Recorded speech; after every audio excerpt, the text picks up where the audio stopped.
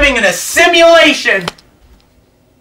Welcome to the 12 days of stuff that was filmed around Christmas time, but didn't come out until now because of editing and such.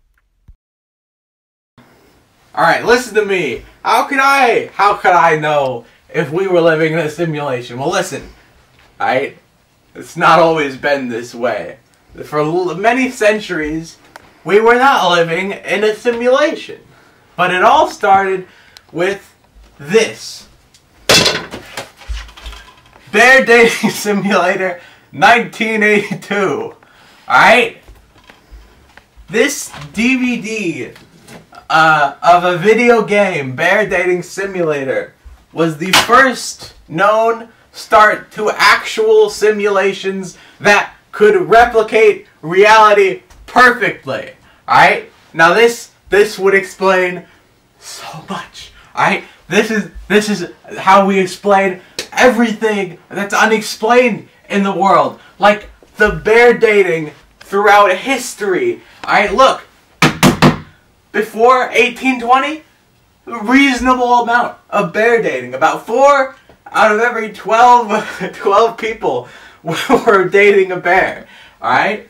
1820 to 1981, alright? About three and a half out of every 12. okay? But but 1982 to now, it's everyone. In fact, it's a little bit more than everyone if you look at this at this graph. Alright? Which just proves it was all bear dating simulator 1982. This explains so much. It explains why bears are so objectively attractive. all right? Not not just to me. It's not it's not just it's bears they're uh, to everyone, to everyone. To it's to ev- bears. Husky. Hunky barehanded. The bears of the animal kingdom, truly. Many of my opponents and non-believers in my bear dating simulator theory use the classic complaint, hey, whoa, whoa, whoa, whoa, whoa, whoa, whoa, and then uh, there's the other uh, co- common complaint I get, which is, what if we're just the simulation? What if we're the simulation for the bears and they're the ones who are like they're they're they're the ones who are in the, like people human date simulator, okay? But look, here's the here's why that can't be true. all right? Humans, we're just people, all right? But but bears bears were clearly made specifically to uh, pleasure the human mind and the human heart.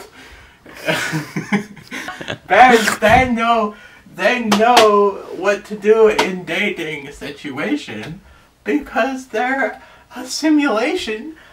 As this graph and bear dating simulator coincidentally made in the same year was also. How could you not believe me people? You you fools! You fools! We will stay in this simulation forever i know